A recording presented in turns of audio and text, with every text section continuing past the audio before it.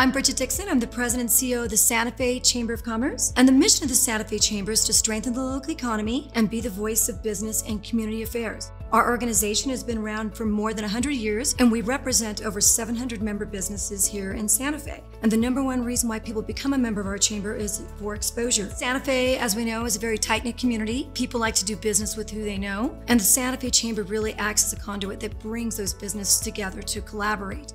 My name is Andy Ramos, and I'm the president and CEO at State Employees Credit Union. Uh, Bridget and I got together and saw an opportunity to really bring our entities and our resources together to further empower these small business owners. I feel the Chamber is committed to the success of their members. It's not just an association or a chamber, they're an advocate for small business owners. We're your voice of business. We're here to support you while you're busy running your business.